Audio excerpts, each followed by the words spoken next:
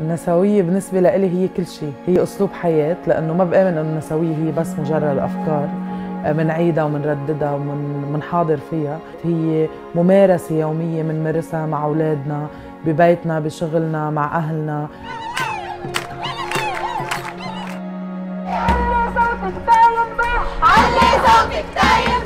النسوية هي السبيل الوحيد لكسر كل أنواع الظلم وتحقيق المساواة والعدالة.